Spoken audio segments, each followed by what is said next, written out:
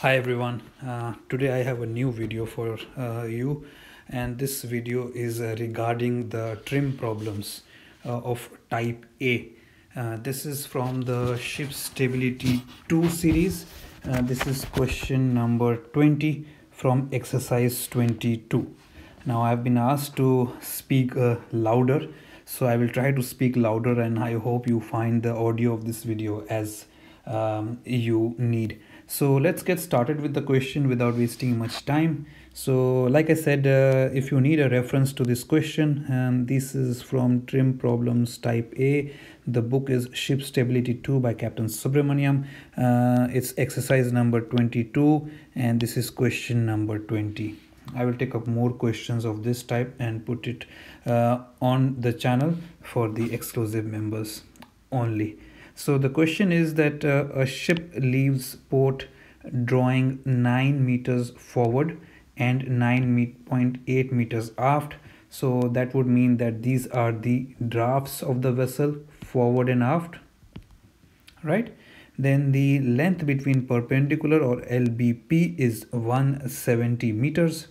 The MCTC or moment to change trim by 1 centimeter is 160 ton meter and then uh, we have the TPC as uh, 24 uh, and uh, TPC of course it's tons per centimeter immersion if you don't know what it is.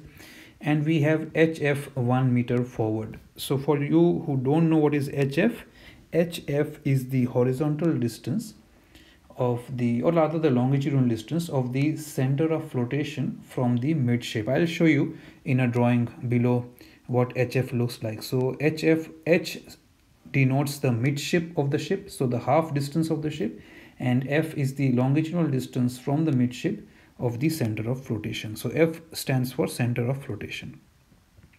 So while the ship is on passage, she consumes the following. So she consumes 520 tons of HFO from number 2 DB tank.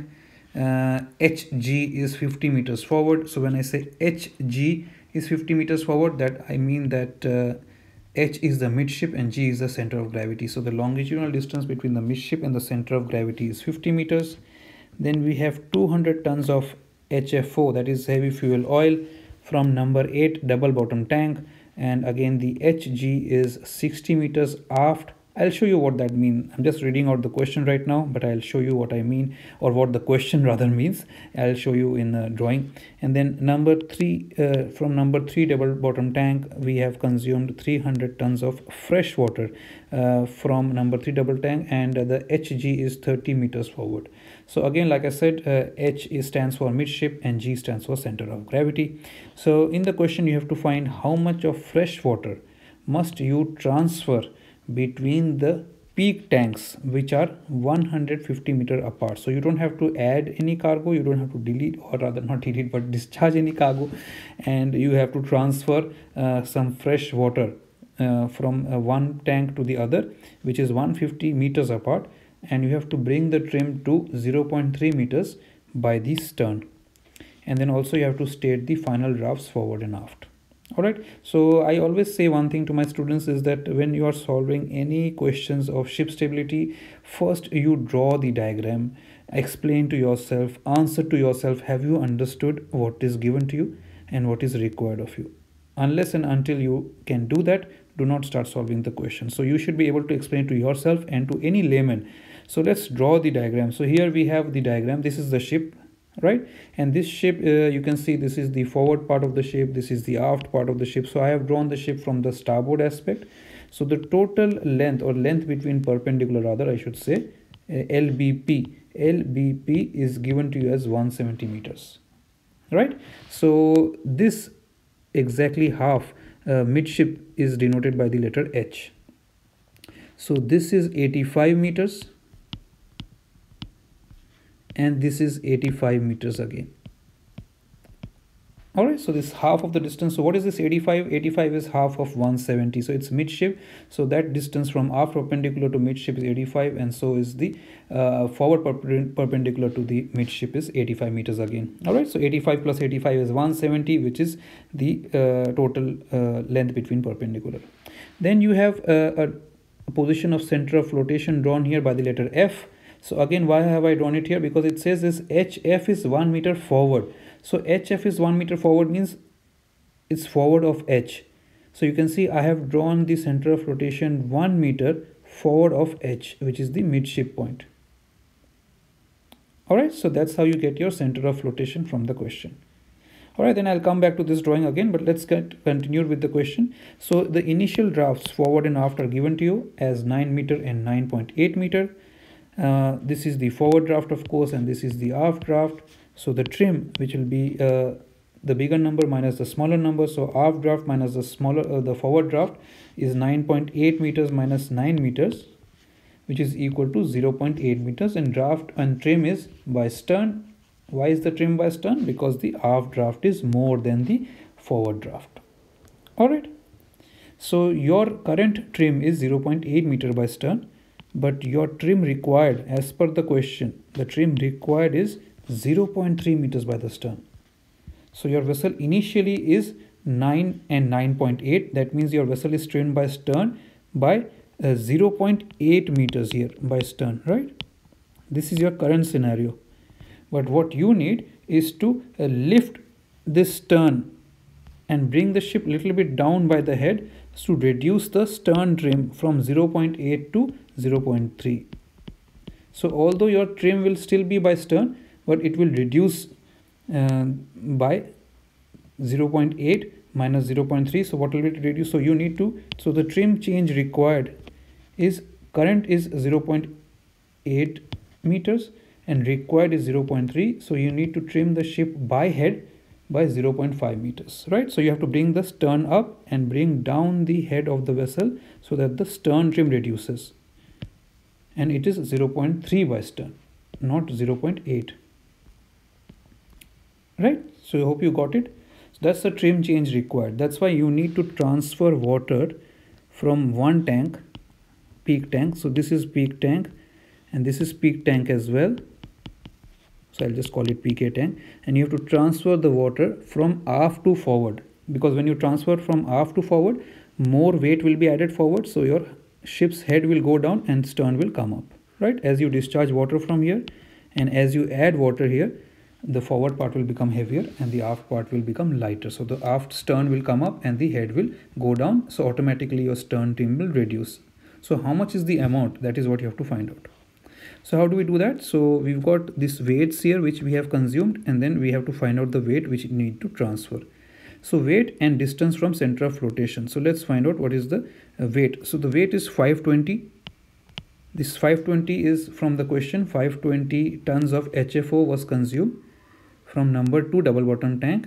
Your hg was 50 meters forward. Hg was 50 meters forward that would mean is your G is somewhere here. So let me use a different color pen, otherwise you guys will get confused. So HG was 50 meters forward. That would mean if this is 50 meters forward here, that means that from G to center of flotation is going back 49 meters. Right? So this is for the HFO uh, from number 2 double bottom tank right? Number two double bottom tank so that's why you can see the distance from the center of flotation i've written as 49 meters and i'm showing the arrow going back.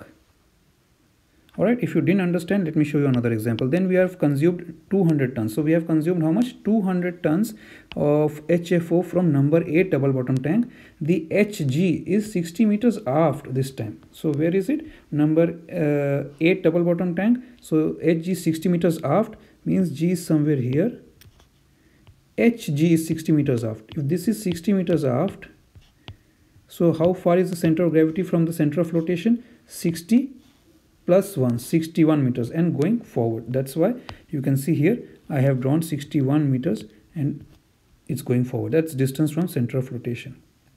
All right similarly now let's take the third example. 300 tons of fresh water from number 3 double bottom tank was consumed. Hg was 30 meters forward all right. So 30 meters forward. So let i have to erase one of them so that it doesn't become too cluttered for you guys to see. So hg was 30 meters forward. Let me just get rid of all this. So you i am sure you've got an idea by now already. So hg was 30 meters forward. Well let's say it was here. This is 30 meters forward.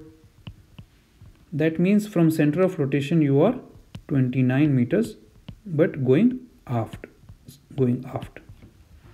Right so that's why you can see i have drawn here the third with 3300 tons and 29 meters going aft. And finally you know that you have to transfer an unknown amount of fresh water from the aft peak tank to the forward peak tank. And naturally the distance is 150 meters between the tank and since it will go from aft to forward i have drawn the arrow going forward. All right so what do you do? You multiply each weight by the distance from the center of flotation. And if one has to go towards stern so in the first case of course the trimming moment will be by stern because uh, water was consumed from number 2 db tank. So you can see in the first case uh, you are consuming from number 2 double bottom tank which is towards the forward part of the vessel. So if you consume from forward part of the vessel what will happen is that uh, the forward part will become lighter. So the trimming moment will be by stern. Right? So the forward part if you consume it's like discharging from forward part oil is being discharged something like that when consumption can be taken as discharge. So the ship will become lighter forward part and it will come up. If it comes up the trimming moment will be by stern all right so that's why you will multiply each and you will put this under the trimming moment by stern all right similarly uh, the second case because you're consuming from an aft tank trimming moment will be by head. You multiply 200 by 61 you get 12200 in the third case again trimming moment is by stern. You multiply 300 by 29 so you put your trimming moments by stern in one column and trimming moments by head un under another column. And again because you are transferring water from aft peak tank to forward peak tank you, the last case where you don't know the weight the trimming moment will be by head because we want to reduce the stern trim and by bringing the ship's head down. So we'll do that again right? So 300 uh, unknown weight by 150 is 150 then you add the trimming moments by head in one column and add the trimming moments by stern under one column. All right? Uh, so i'll just get rid of these things. Becoming too much of a clutter right? So this will give you 12200 plus 150 and this will give you 25480 plus 8700 is 34180 so this is the uh, net trimming moment. You got the head trimming moment and you got the stern trimming moment. Um, but before that you also have to know that the formula for trimming moment is also equal to trim change required multiplied by mctc this is given in the stability books. Now the trim change moment the trim moment or trim change required was 0.50 meters right but when we talk about MCTC, it's moment to change trim by 1 centimeter. So we have to convert this 0.5 meters, which was a trim change required, to centimeters by multiplying it by 100. So this will give you 50 centimeters. So uh, did you get where I got the trim change from? So remember here, I told you that the current trim is 0.8 and you have to make it 0.3 by stern. So the trim change required is 0.5 meters. So 0.5 meters you can't use because the unit is in meters, whereas MCTC is for centimeters. That's why I converted the trim change into centimeters. So trimming moment is 50 centimeters by 160, which is 8,000. Alright, so trimming moment is also equal to 8,000, but trimming moment is also equal to the net result of the head and stern trimming moment. So that's why you will have this equation here. So we have the head trimming moment minus the stern trimming moment, of course, right? Equals to trimming moment. So then it's a simple case of isolating the numbers that you know and uh, isolating what you don't know. So just keep solving the equation here and you are isolating W which you don't know and finding out what is the weight of the W. So by isolating W, we find out that you have to transfer basically 199.9 tons or almost 200 tons of fresh water from the aft peak tank to the forward peak tank, which is located 150 meters away. All right. Uh, then we have to find the final drafts as well. The question is not over yet. So for that, we have to find uh, how much was the uh, effect of uh, the consumption of the fuel oil or fresh water during the passage. So total weight loss due to consumption or total loss uh, in the uh, yes you can say weight is 520 tons plus 200 tons plus 320 tons which is 1020 tons okay? So you know where i got these figures from? So from the question itself. So we have consumed the question says we have consumed 520 tons plus 200 tons plus 320 tons. Uh, the fourth thing the fresh water was not consumed it was only transferred so we don't have to worry about that. So there is no change in weight. But these are the stores we have consumed so when we have consumed something it means there has been some kind of a discharge there has been a loss of weight. By how much? By 1020 tons. So how so when there is a loss of weight of course it's like a discharge. So ship becomes lighter it means ship will rise. If you add weights ship sinks. So when you subtract weights or discharge weights or consume weights ship is becoming lighter. So there will be bodily rise. Now how do i find bodily rise? Total weight consumed divided by tpc all right this is tpc total weight consumed divided by tpc gives you a bodily rise of 0.425 meters or it can be 42.5 centimeters. Now why we say 0.425 meters? Because we have to apply this to the drafts and the drafts are given in meters so it's better to keep it in meters. All right now because you will divide 1020 by 24 and you will get 42.5 that's why i thought don't get confused if i write 0.425 this is in meters the answer you will get in your calculator is 42.5 but that would be centimeters. Because tpc again it's tons per centimeter immersion that's for centimeters only. So what you do is you found out the bodily rise now so you write down the initial drafts given to you in the question 9 and 9.8 find out the bodily rise. So when you say bodily rise that means both forward and aft portion of the vessel will rise due to the consumption of store. Both will rise by the same amount so minus 0.425 minus 0.425 on either side. This is forward draft this is aft draft. Now remember that if it was adding stores you would be adding this uh, and it would be bodily sinkage so once you subtract both numbers then you have to find trim forward and trim aft. How do you find this? From here. So the formula is trim change aft equals distance from the aft perpendicular to center of flotation multiplied by change in trim required divided by LBP. So LBP is given to you, you know 170. Trim change required, you know it's 0.5 meters. How do I find the AF? AF is distance of aft perpendicular from center of rotation right? So of course, if this is 85 meters from aft perpendicular to midship is 85, your center of rotation is 1 meter forward of HF, rather forward of H. So you will add 1 meter to 85 meters. So from aft perpendicular to center of rotation becomes 86 meters right this is AF AF so therefore you will write AF here as 86 meters multiplied by 0.5 meters. Keep everything in meters here. Don't keep something in centimeters. Divided by length between perpendicular which is also in meters. So you get change in trim aft as 0.253 change in trim forward will be total change in trim required which is 0.5 meters minus trim aft. So this is tc minus ta which will give you tf this is change in trim required forward is 0.247 so of course because you transferred water from aft to forward and the net trimming moment was also favoring down by head so you will add the forward trim forward you will add because you are increasing the um, forward draft and you are decreasing the stern draft because you are reducing the stern trim right so therefore you will sorry about that. So you will add tf you will add because you want to put the ship down by head and you will subtract ta because you want to make the stern rise to reduce the stern trim so once you do that you get the forward and aft drafts. All right. So have a look through this video. Watch it again uh, if you have any questions these questions are actually very simple guys. It's very easy. It's just you managing to understand what's going on. So like i said always with ship stability questions draw the diagrams draw the diagrams. I can't reinforce enough how important it is for you to draw diagrams and understand what is going on. Once you draw the diagrams and you can visualize what is going on the rest of the question is very simple guys. All right so you should be able to explain to yourself what is it that is given to me and what is it that i have to find. What has to go on on this ship for me to achieve the desired results and you should be able to explain it to anybody. All right that's the kind of clarity you need and then you will see any ship stability question will become very easy. So thanks for watching guys. Thank you for being exclusive members. I really appreciate the support you are giving me. Uh, it encourages me to put more videos. Uh, please pass these uh, the information of the channel to your friends as well so that they can benefit. But thank you for being exclusive members. Bye for now